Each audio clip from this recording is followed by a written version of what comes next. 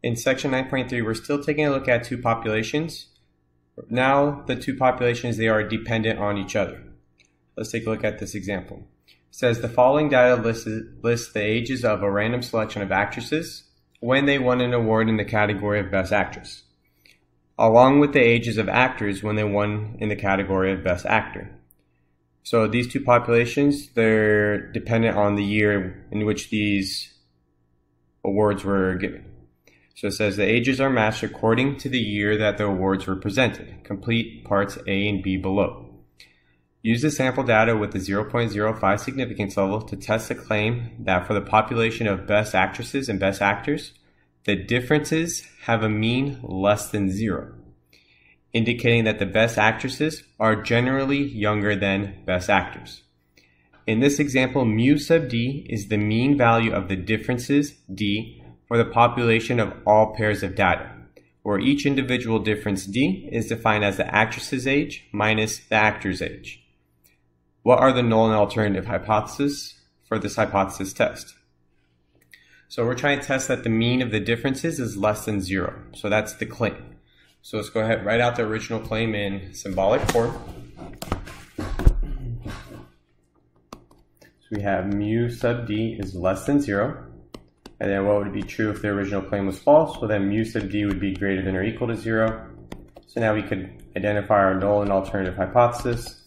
Null hypothesis, remember, always includes equal to. So we have mu sub d is equal to zero.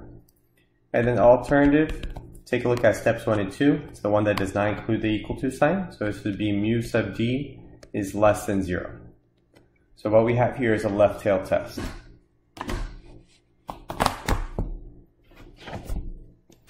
So let's go ahead and put that answer into the homework problem.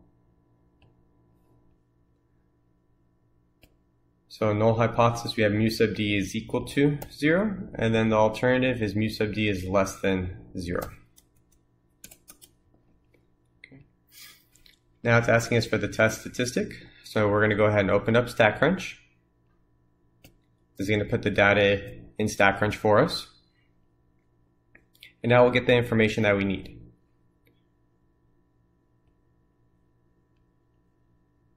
Okay, so let's go to, we're going to go to stat. And since we're testing population means, we're going to go to t-stats. What we have here is paired. So since the two populations are dependent on each other, they're matched up, we're going to go to paired. And now we go ahead and select actresses for the first column and then actors for the next column.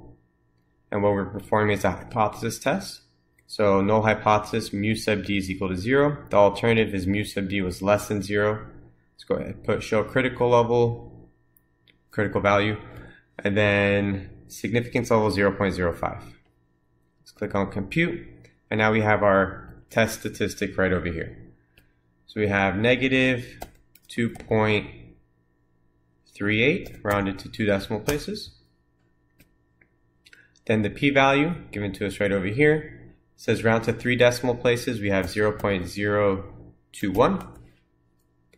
Okay, and now we could go ahead and make a decision about the null hypothesis. So now we're going to compare our p-value to our significance level. So since our p-value 0.021, this is less than the significance level of 0.05. So here's our significance, significance level, 0.05. So since the p-value is less than, less than or equal to the significance level, that means that we reject the null hypothesis. So since we're rejecting the null hypothesis, and the original claim did not include equal to, that means that there is sufficient evidence to support the claim.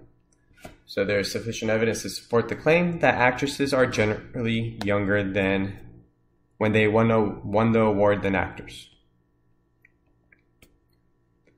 Next, we have to construct a confidence interval. So let's go ahead and go back to StatCrunch. I'm just going to click on options and then go to edit. And now what we want to do is construct a confidence interval.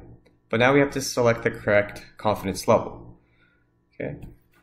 So since this was a left tail test, meaning it's one tailed, So left tail test, just means it's a one tail test. The correct significant, uh, correct confidence level that we're going to be using. So CL, this would be one minus two times alpha. So we have one minus two times 0.05. So we have one minus 0.10, which gives us 0.90. So this is a 90% confidence level. Okay, so now let's go ahead, go back to StatCrunch. Okay, let's change the level to 90%, 0.90. Click on compute, and now we have our confidence, or we have our confidence interval right over here. So we have the lower limit, so it says round to one decimal place. So rounding to one decimal place, we have negative 18.0 negative 18.0, and then the upper limit, negative 2.4.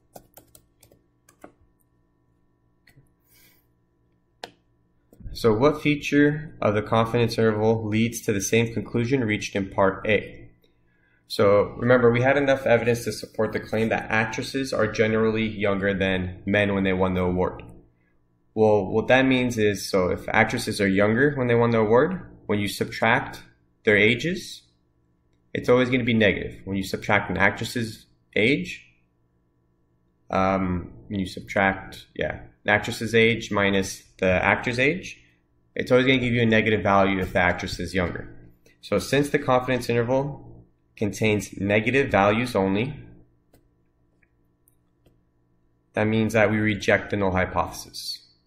So remember, the null hypothesis stated that the difference was, equal to zero, meaning the difference in their age is zero, meaning they could be the same age. But we rejected that null hypothesis.